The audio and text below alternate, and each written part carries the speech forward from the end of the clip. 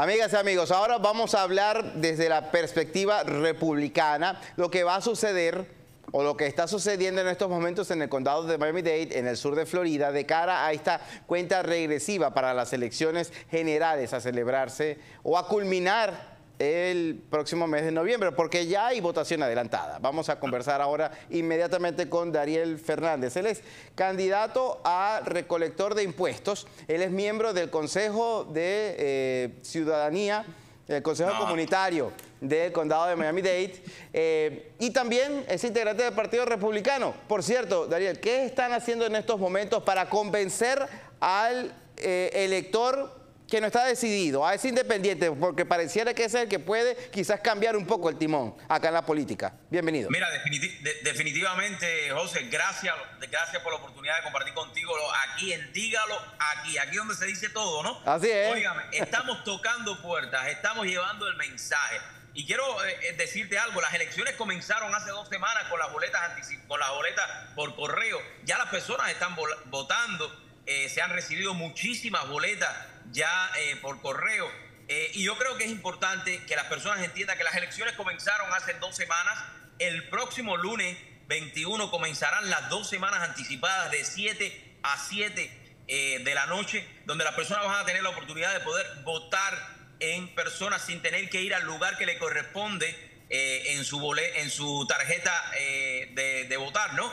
Y yo creo, de registración de votar. Y esas son las dos semanas que eh, más intensas se ponen las elecciones, porque eh, hay que seguir llevándole el mensaje. El mensaje eh, el cual necesita hoy por hoy cada uno de los residentes del condado Miami-Dade, del estado de la Florida y a nivel federal. El, el mensaje de poder volver a recuperar a los Estados Unidos, el mensaje de bajar la inflación, el mensaje de tener una seguridad en la frontera, el mensaje de poder eh, tener un liderazgo verdadero en el mundo internacionalmente por los Estados Unidos de América.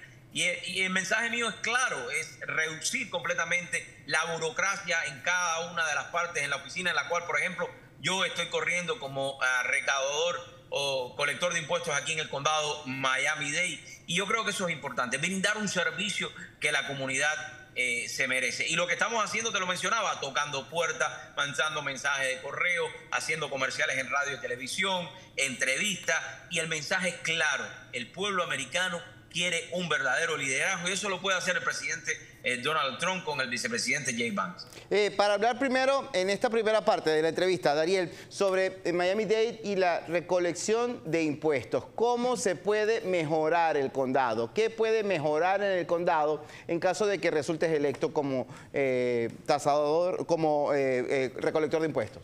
Mira, definitivamente el condado Miami-Dade va a tener eh, un cambio eh, significativo en lo que es en la manera que se mueven eh, estas cinco posiciones. Hasta el momento, estas posiciones, muchas de ellas habían sido, en mi caso, por ejemplo, seleccionado por la administración del condado, lo que es el colector de impuestos, que si Dios lo permite y el pueblo del condado Miami y los residentes me dan la oportunidad, como me lo dieron en las primarias, voy a ser su próximo tax collector o colector de impuestos por eh, aquí en el condado de Miami-Dade la primera vez después de 67 años. Estos serán oficinas constitucionales, oficinas independientes que no tendrán nada que ver específicamente con la administración. En mi caso, eh, muchas de las cosas que nosotros queremos eh, mejorar y es, por ejemplo, las licencias de conducir que van a estar bajo la sombría, las oficinas de licencia de conducir, donde usted renueva su ID.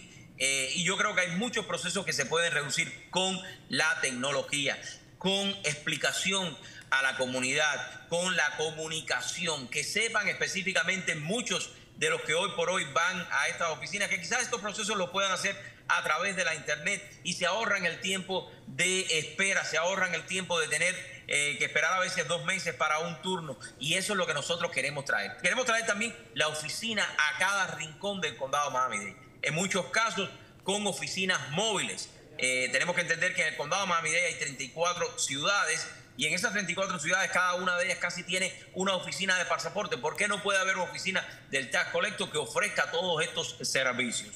Cuando usted va a sacar una licencia ocupacional de, su negocio, también es a través de la oficina del Tax ah, Collector o colector de impuestos. Estar aquí para trabajar y traer soluciones por igual para cada uno de los residentes del condado Miami-Dade. No importa si eres demócrata, independiente, republicano, estamos aquí para servir a la comunidad del sur de la Florida con el servicio que se merecen, porque todos estos servicios se proveen gracias a los taxes de los contribuyentes. Y yo estoy aquí para ser una voz, para fiscalizar junto a toda mi oficina, junto a los abogados, junto a los contadores que tenemos, ser el líder para poder llevar esta oficina a otro nivel que trabaje verdaderamente para cada residente del condado Miami-Dade. Eh, en el próximo minuto, ¿de qué se queja la gente o qué te dice la gente en este eh, casa por casa que realizas?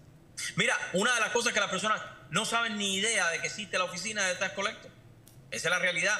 Eh, no saben ni qué es lo que hace. Muchos la confunden con la oficina del tasador de la propiedad y son dos oficinas completamente eh, diferentes. La oficina del, la oficina del tasador de la propiedad es la que tasa los valores de las propiedades en el condado de Miami.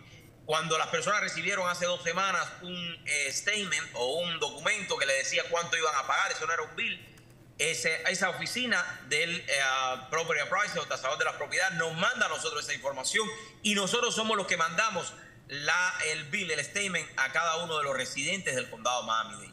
Muchas de las personas a veces dicen cómo es posible que eh, la oficina de Tax Collector tenga una sola oficina en todo el condado Miami-Dade. Eso es, eh, vaya, eso es algo que no tiene sentido común.